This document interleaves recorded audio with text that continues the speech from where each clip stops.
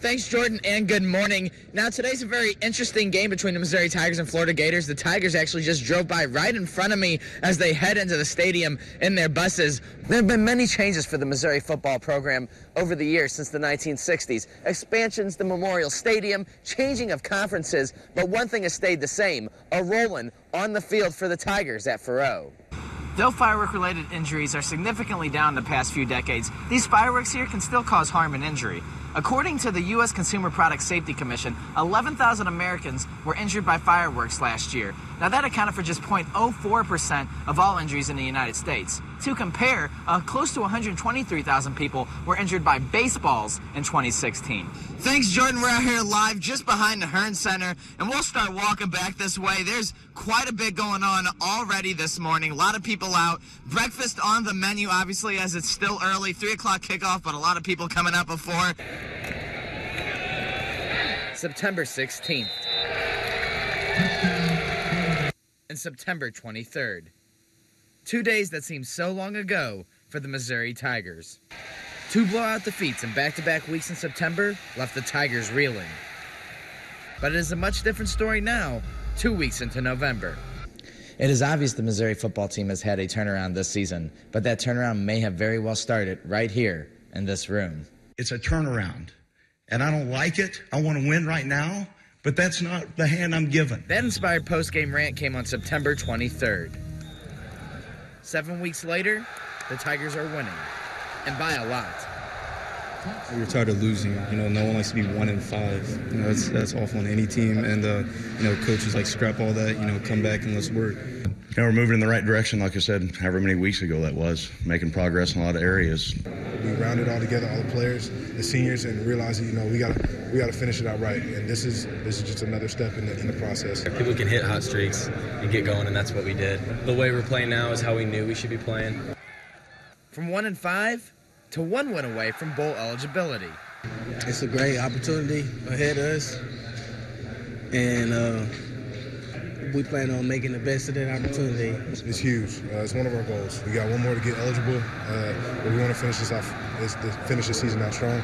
We want to be plus one at the end of every game, get better every week, see where the coins lay. So positive, positive atmosphere. Everybody know what we can do. Just go out and compete every day. And with two games left on the schedule, the Tigers are not looking back. At the end of the day, why run short when you can run long? Evan Lachnit, KMUH Sports. You want me to count down?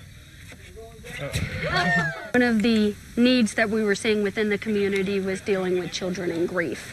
There weren't a lot of resources for it, and they were kind of the forgotten mourners. I couldn't do it. this camp was developed by our hospice to be able to serve families in our community and help give parents the resources they need to help with their own grief as well as their children's grief, but also to for children to come um, meet with other children who have lost a loved one and create a sense of normalcy and help them cope with their grief.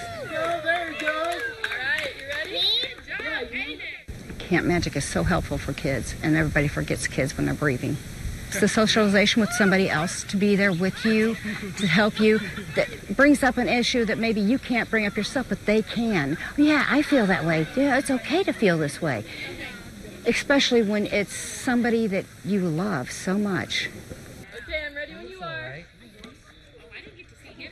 My grandson is a participant again this year. Uh, it did him so much good last year that we asked to come back. When my husband passed away, Owen was very close to him, and so it gave him an outlet to get his anger out and his and gave him steps to channel his anger, his loss, his ways of doing it. It gave him confidence to talk about it. Parents have shared that they save the memory boxes that they make and that they are excited to come back and do the ropes course with the Parks and Rec, but also get to have a safe place to express their grief with other children. Some good news for residents of Boone County. Right. A recent study shows residents of Boone County have one of the longest life expectancies of any county in Missouri. KOMU8's Evan Lachnit is live in the studio to tell us more about the results of the study and why it continues a positive trend. So, so maybe living in Boone County counteracts bad diet choices or something? is, is, that, what you're telling us? I don't think it's oh. exactly what oh, the study okay. says. I think you say. still you have to put your effort in. Eat more pizza. I mean, that sounds good to me. But and now it's obvious Mizzou football has struggled in the month of September. But as the Tigers had a bye week this week, other SEC schools show Missouri fans they are not the only ones suffering.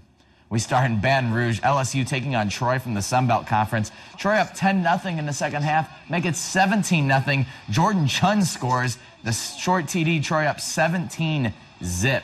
Then in the fourth quarter, Josh Anderson scores a rushing TD, putting Troy up 17 points in Death Valley at night. This is unthinkable. Unthinkable. LSU would make a comeback attempt in this one, trailing just three, but Danny Etling throws an interception. Troy beats LSU 24 21. Troy was paid nearly a million dollars to beat LSU on its homecoming. To Alabama now, Ole Miss taking on the Crimson Tide, and this one was ugly from the start. Bo Scarborough opens up the scoring in the first quarter with this TD run, 7 0 Bama. On the next possession, Shea Patterson throws the pick. The wideout gives no help. Levi Wallace returns it 35 yards. Nice blocks along the way. Bama up 14 to nothing, and they do not look back from there. Bama dismantles Ole Miss 66 to 3, the most points Alabama has scored in a game since 1979. And they say making it in the Big Apple can be a tough task for anyone, or apparently anything. Last night, one recycling bin saw that firsthand.